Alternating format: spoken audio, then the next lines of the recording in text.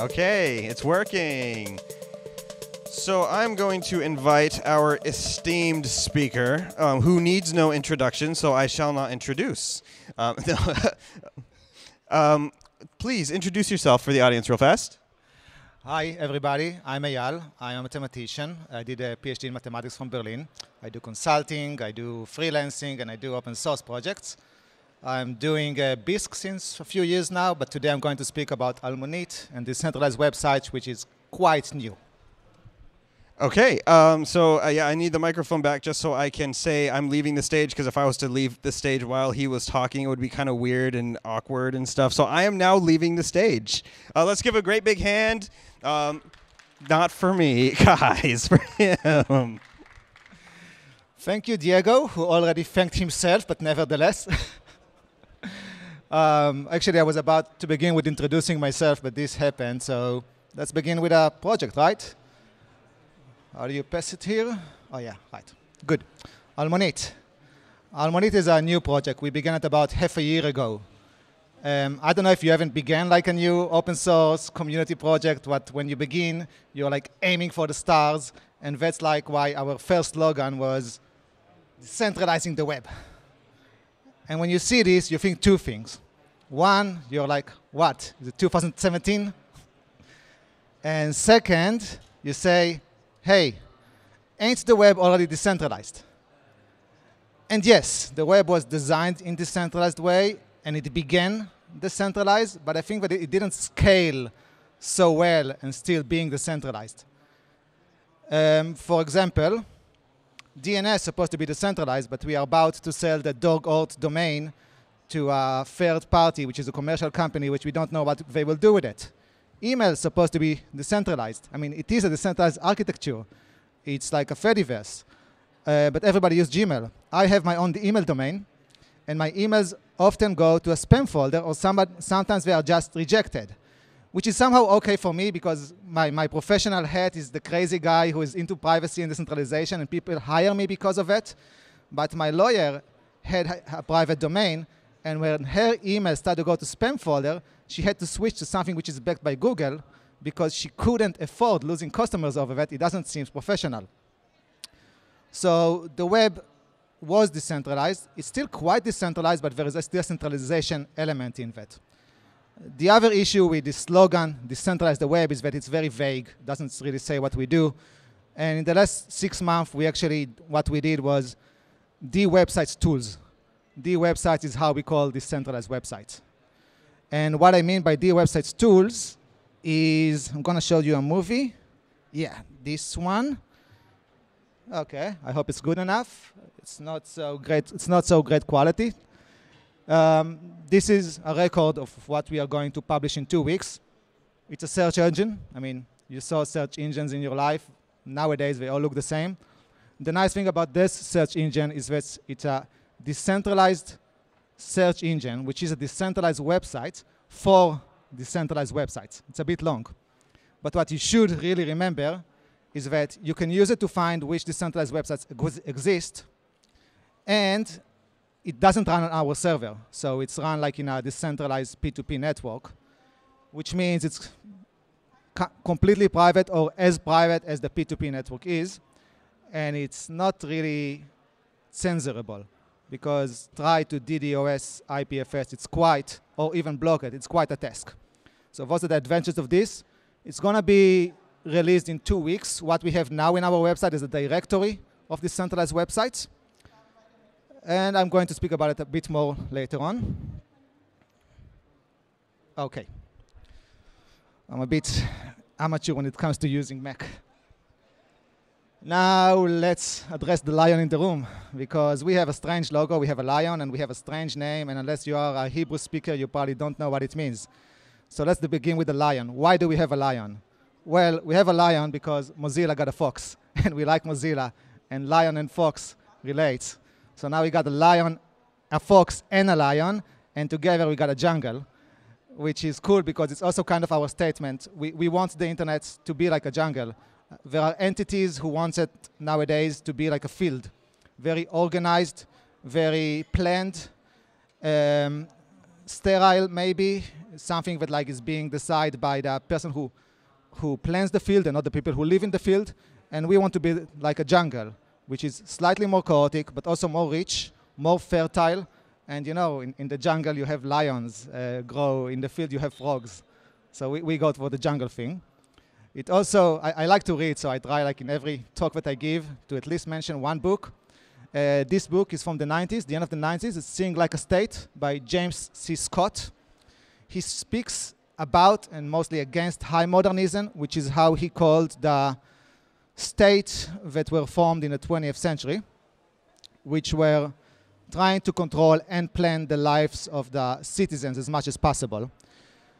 It's very thought intriguing. I, I, don't agree with much of the stuff that he writes, but this goes for every book that I read. Uh, and what's relevant for us here is that in the first chapters, he speaks about the science of forestry, so designing a forest.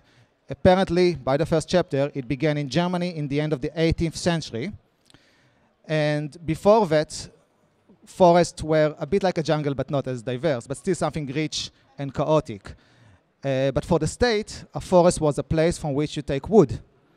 And they started to design the forest such that it will have mostly wood and not other stuff, and also the kind of wood that they have, and also that you could access it. So the German forest, I, I do a lot of bicycle trips. The German forest is very organized. It's rows and this. I was never lost in a German forest. I was lost in Ukraine in a forest for half a day. In a German forest, if I get lost, I just have to choose a direction and suck, and after half an hour tops, I'm out. um, I, I, noticed it like myself with the bicycle trips, and then I saw it in the book. And what, what and, and, and this, so it was good for the state for the beginning because they got like really good lumber and a lot of it, and they needed it for construction. It was bad for the farmers, it was bad for people who live near the forest, who live of the forest, for the ecosphere. But what turned out that after a century, in the end of the 19th century, it was also bad for the forest because suddenly the third generation of woods that they planted didn't grow. It grew up in the first and second generation because the forest was so fertile, because it was so diverse. And then, again, I'm quoting the book. I didn't really found other good sources for that. A new word entered the German vocabulary, a Waldsterben, which was a phenomenon that happened apparently in the end of the 19th century. And I think that this story makes you understand maybe why we want a jungle and not a field and not like something so scienced. Of course, you also don't want the internet to be a complete chaos because we are not living in the Wild West and there is also bad people who want to do bad stuff. But you should govern it around what people do and not tell people what to do around what you want. Then there is another element here, which is the word almonit. Almonit is in Hebrew. It means anonymous. It's a feminine uh, form of the adjective. So we are in into privacy. The other cool thing is that Tel Aviv, I'm from Tel Aviv originally. Tel Aviv has an alley called Almonit Alley. Uh, it's Simta Almonit. Simta is alley in Hebrew. It's a very small alley. And if you enter the alley, in the end of the alley, of, you see a statue of a golden lion. And it's nice when things work out. That's about us, the project, the name, the lion. And now we can speak about the websites. So, the websites was not invented by us. Uh, we also don't build the website. We make tools for the website. I, I, I know the websites from ZeroNet from 2015, which was a project that did decentralized websites. I, I liked it. Uh, it's different than us. We also, I mean, it's quite different than us, but the idea is the same. Perhaps it was before. I'm not so sure, to be honest. And to explain what is it in the way that we make it or we uh, refer to, let's, let's first speak like, you know, explain to me like five years old, what is a website? So this is me. This is a picture of me that a friend drew when I was 20. I already didn't have any hair, but I still didn't have a hat. And I want to surf the internet, regular website. So I got a name. I go to a name service, DNS, and I ask the name service, hey, where can I find the content of this name? And the name service gives me back the IP or the address of a server, and I go to the server and I ask for it. So the server gives me the website, and then nowadays begin kind of exchange of me and the server, like back and forth. This is the dynamics of websites, because the websites are not static nowadays. Uh, sometimes there are, I mean sometimes, there are always other people in the internet. I tend to think that all the people look like me, so it's written not me, but let's assume it's still me. And I, the other, not me, speaks with the server. The server lets us communicate, and you have more dynamics. And I stress this dynamic because this is the part which is difficult to recreate in the centralized website. The, the whole talking back and forth with the server, the server being someone that connects people, uh, that remembers states, that lets you know that you speak to one person which is connected to it and not to a million who try to scam you. This is what is difficult to recreate. So now we go to the websites, and it's still me. But now I have a different name. This name is not part of the DNS registry. It's a, some random name. And instead of going to DNS, I go to a decentralized name service, like Namecoin, which was here yesterday, though we actually use ENS, Ethereum name service. It's based on Ethereum. There are two reasons why we use it. Uh, a, I, I, I'm not a huge fan of Ethereum, but I'm a huge fan of ENS. I think that they've been doing a very good job of trial and error of how to create a decentralized name service. It's still in alpha, so it's not perfect, but they did a good job. And B, they also did a good job of like business uh, process. So it's supported by some browser. People know of it. And the third thing is that the D website in the current form was just began there. There were about 10 when we began, so we, we, it, it was natural to use it. I'm not going to say exactly how ENS works because that's like another topic for another lecture, but what is important for us, standard things, is that you can buy a name, the name points to, a, to some kind of value, like IP or something else. Um, the, the purchase process is automatic and it's irreversible. So now you are away from the whole DNS thing, hey, my name can be taken, which happens once in a while, or the price can go up, etc., etc. It's predictable.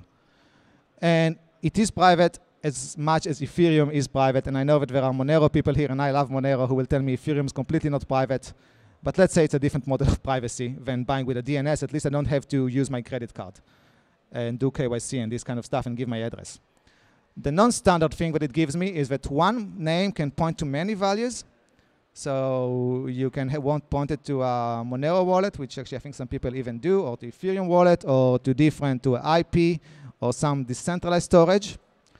Uh, it has a compl complex ownership model. So now it's not like one person owns a name. You can have a multi-sig owning a name. You can do something that changes with time. Like today, I own the name, but in one year it will automatically switch to someone else and it creates some kind of interest in new stuff, new stuff that you can do with it. And it also has the automation of ownership, which connects, of course, to, to number two.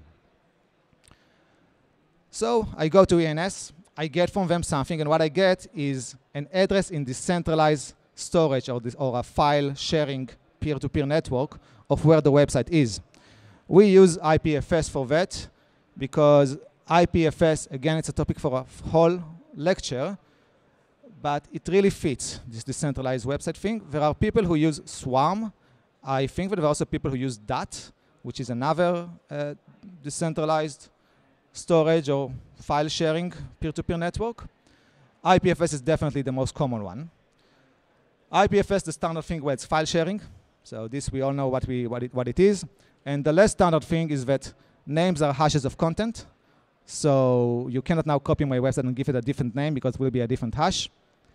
Uh, it's really easy linking between different repositories of, of, of, of, IPFS, between different files, and this is important for website. You can link from one to the other really easy. You can link inside. It, it's so convenient in IPFS. And again, like ENS, they have good infrastructure. So they have libraries, uh, JavaScript libraries and Rust, and, and they have a whole big ecosphere of people working on it, which makes easier for us to do stuff with it because I think one of the problems with ZeroNet was that the, the ecosphere was not so diverse. And here we are building on infrastructure of ENS and IPFS, which, which help us just to be more reachable. Why do you need decentralized websites? Well, I think that the first reason is uh, what I call uh, the big three lions of decentralization, what you get from almost every peer-to-peer -peer network or decentralization pro uh, uh, project, which is its censorship resistance. It is super difficult to block IPFS or every other P2P network which is big enough, it's robust. The same thing goes for DDoS. It's very difficult to take offline. So if you're an activist organization, it can be a really good solution for you. And it's private as far as Ethereum and IPFS are private. uh, which is up to discussion and can also be improved. And we will be happy to actually also check some more private networks to do it in. The non-standard thing is that you can do collective websites. So this comes to this complex ownership of names. You can do a website which is owned by a group, and every person of the group can change it, but then like half of the group can ban someone if he did something or she did something not okay. You, you can have like a society moderating and managing themselves, which is very nice, and it's really difficult to do with the DNS model. Uh, you will have to start to manage access to the server, and still there will be operators. Here it is so easy and natural to do that, and it's one big pro of the D websites that I like. The cons of the websites, and you should always say, of course, what is bad with what you do. It is slower. Um, you know, Google has AMP, which I hate, but it's super fast. D websites are slower.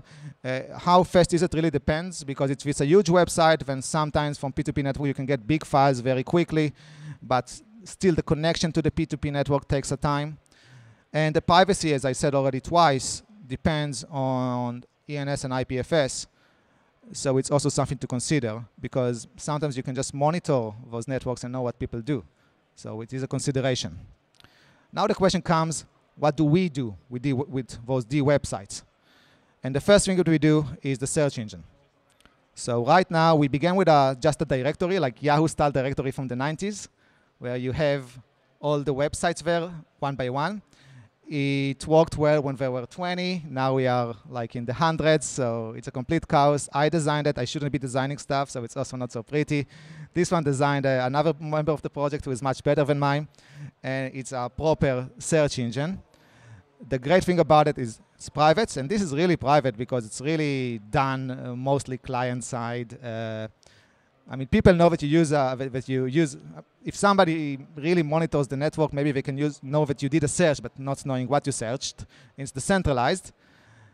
And the other thing is, of course, it's more difficult to scale.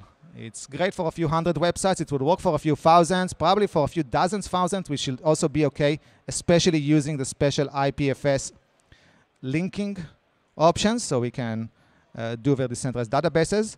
But uh, if it gets to millions or billions of websites, we have a lot of research to do. there is a field called uh, um, distributed information retrieval, and there is, uh, I think, a relatively well old and known project, even from Germany, if I'm not mistaken, of a distributed search engine called YaCy, if I remember correctly. We have a lot of study from them, and we want to see how we can use IPFS or DAT or Swarm special properties to, to scale it better and to make it faster. Second thing that we do, and that's the first thing that we published, was a browser extension. Because it's great if you do a D website, you still have to access it somehow. Um, you can use our extension right now mostly to access websites. It works in Firefox, in Chromium-based browsers, and we also want in the future, like in the near future, to have it working on Tor, so you can have dark web there there are our end goal for this is actually to have it more like a decentralization add-on. Um, and, and the other thing is that you may think that this is temporarily because if this thing really takes off, let's say in five years or whatever, it's a dream, uh, then Firefox and Chrome, and Chrome and Google will just add support for resolving it themselves. You will not need anymore the browser extension.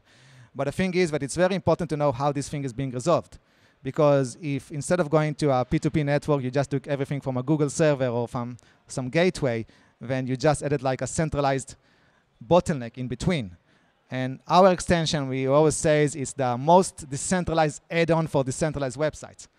So we really make an effort to do random choices, so uh, you will not always go for the same path, and one gateway in IPFS will, on one node, one seed node will not get too much power, and this kind of stuff. And the third thing, which is in planning, in the development, is what we call Almonit build. Name may be changed. And this lets you build decentralized websites because if you find the topic interesting right now, there are two things that you can do. One, you can talk to us and try to help with our infrastructure and, and, and the algorithms and stuff like this. But the other thing is you could build a D website because we need more of those and we need people experimenting with those. And if you're a web developer, you can experiment, but if you just want one, maybe you want an easy tool for that. With the Almonit build would be like a simple UI that you can build websites. It will be for personal websites, obviously the first thing that we will have because it's so easy and simple. Blogs or CMS, like content management system, uh, because everybody uses Medium and I don't use Medium. I, I, I, don't like Medium and I would be happy. I, I have like my WordPress blog, but Medium is easy and I would be happy to give like as easy but decentralized alternative for that. And e-commerce, if you want to open shops, and I, I, I'm in favor of legal shops, by the way. uh, state of the ecosphere. So we've been doing it for half a year. When we started, there were pretty sure we counted there 13 websites, three of them were ours, so 10 besides us. And now there are like over 100. And the thing that people do websites on is first thing of all, personal website. You know, I love developers. They do uh, sometimes boring stuff, sometimes beautiful stuff, sometimes strange stuff. This Strybits here is like a shell website where you have to actually walk to see what's there, and it's really cool. There are many of those. Uh, the other thing which is there a lot of is blockchain projects for very obvious reasons. One of them, I think Blockchain Router, has only a D website. I couldn't find the regular website, which is cool. And it's a beautiful website. So if, if you actually download the add-on afterwards, the extension, and, and look for websites, check out their website. It's really beautiful. And then there are already people who try to commercialize it or to monetize it. I give you four examples. Um, the first one, which for me was the first, the most obvious, is decentralized exchanges, because decentralized exchanges always have an issue of Centralized exchange is not supposed to have an operator. But if you have a website, then you operate the website, and it looks like, and, and it is literally operating. Uh, Bisq, the one that I did, that's why we didn't have an, a, website. We are a software, and the software is supposed to be updated from the P2P network, but people like software less and less. So lots of the centers exchanges have been moving to D websites. Uh, all of them seems to be in experimental stage, though it seems that you can still use it. I didn't try myself. Other thing is e-commerce, and this is mostly selling merchandise, but you know that's what the internet is for, merchandise. Then gambling, only one, uh, but it will come, I guess. It's, it's, also one of the first things that you do in anything. And this one, who is taking sats, is actually selling subdomains of a decentralized domain uh, because Nick Johnson from ENS wrote kind of a repository for it for GitHub. It was cloned a few times, and then people were selling subdomains, and other people were buying that, which is nice, I mean, cool. And then, of course, I guess people here know what is Rule 34, meaning what if you do something in the internet, people will use it for porn. So people have been using it for porn, but it's censored. and when I say porn in this case, this is like the most softcore of the softcore that existing. It's a hentai drawing of, of stuff. So it's light. It's like Rule 34 quotation marks. Yes, there are already some browsers that support it. Uh, of course, the alternative one, Opera, supports it. They were, I think, the first one. Status, which is a DApp browser uh, for the smartphone, supports it, and they've been doing very good job with it. Brave have been uh, announced that they are going to support it, but I'm not sure what is up with it. At least in my Brave browser, it's not working yet. And soon, like in a few years, other will come. so we, we, we, don't really think of Firefox or, or Google, obviously, yet. That's it. If you want to follow us, go to our Twitter, Go Almonit. We don't tweet that much. What we tweet is like updates on the projects, kind of articles that we write in our blog, and when somebody makes a new decentralized website, because we monitor that, we let people know if there's a new interesting decentralized website. You can write us for any good reason in the world. You know, we are sitting bored near the computer waiting for emails, so we are always happy for those. We also have a D website, almonit.eth, and there is a blog in blog.almonit.eth. Or if you don't feel like going to a D website because you have need right now to either have Opera or install an extension for that, you can go to our boring website, almonit.club, which is a complete clone of it. Thank you very much. This would be all. Questions? Questions? Oh, yeah. So I will be happy to answer any questions if anyone has some.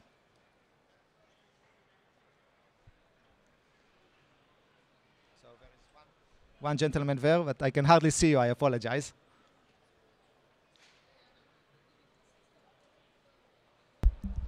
Uh, first of all, thank you for the talk. It was quite interesting, and uh, have a good luck with Almonit.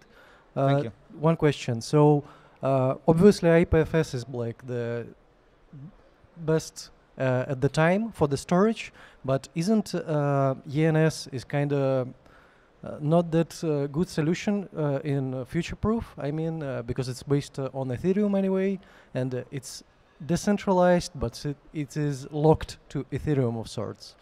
Like, is it is it really a good solution, or are there any alternatives at all? S- Like, it, it's a good question.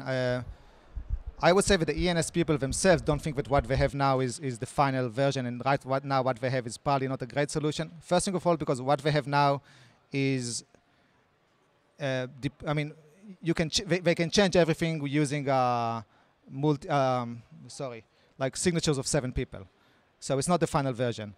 Um, they also have another issue which scares me a bit, which is squatting which I, which is I mean it was problem with DNS. It, it, it, it will be a bigger problem with ENS, and it is tethered to Ethereum, which uh, Ethereum have Ethereum itself has having changes going to Ethereum 2.0, and and you don't know what will happen in this sphere.